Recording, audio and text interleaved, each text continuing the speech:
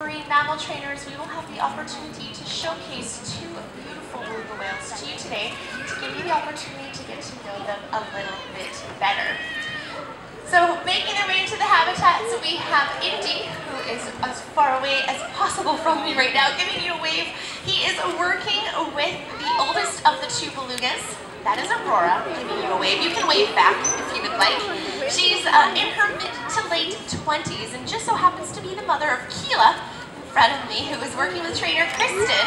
And Qila is a very special whale since she was conceived and born right here at the Vancouver Aquarium. So she will be turning 18 this summer. So I'm thinking perhaps we can give the trainers and the belugas a nice warm round of applause this morning.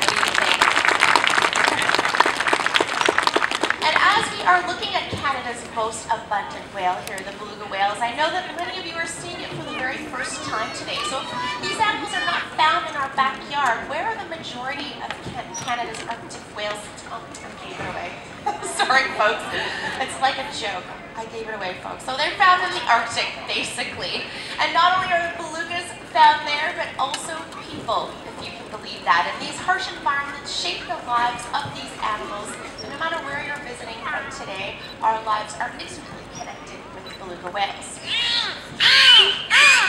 Indeed, Qila. But in order to live in this very harsh environment, beluga whales need to have some pretty special adaptations.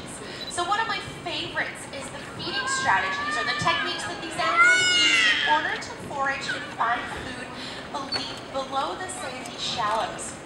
Now, for those of you who I gave you a little bit of a warning here, these animals do have flexible lips, and as you can see, Qila is showing us that technique to uncover tasty treats such as invertebrates, clams, and even worms. So I don't know if anyone's going to take some salt water home with them except for trainer Indy today, but you can see how this technique would be useful since beluga whales don't have arms to uncover those tasty treats if they are hiding in those sandy areas. Pretty amazing, don't you? Pretty remarkable for a beluga whale, or any whale for that matter.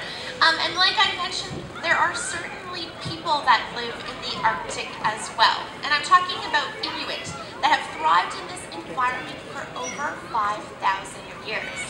Now we can feel very fortunate no matter where we're visiting from since it's very easy for us to get our vitamins and nutrients from purchasing fruits and vegetables on a regular or even daily basis. But you have to imagine that people in the north that so they have to rely on the big, blubbery beluga whales in order to provide them with that same vitamins and nutrients that we would get from vegetables. Well, nothing will go to waste from these beautiful animals that we everything down to beluga skin and utilize for shoelaces. So it's a great way in order for these folks to get all those essential vitamins and nutrients since they are so far north. Now speaking about the Arctic, this is a particular area that is going through a lot of changes in the last little bit due to climate change. And we know that the Arctic is changing at a very rapid rate. And unfortunately, last year, 2012, was the least amount of impact ice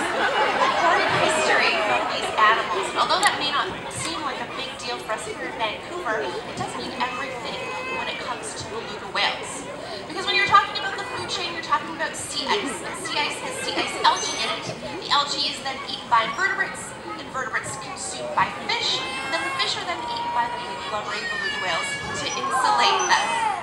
Now I know we've been talking about the Arctic a bit today and it's spring, so let's move on to maybe another area.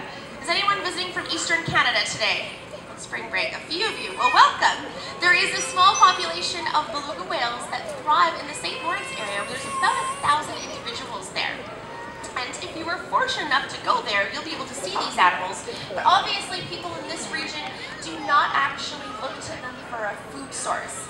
They're more of an economic value since there are some small whale watching operations that do allow folks just like yourselves to go out on the.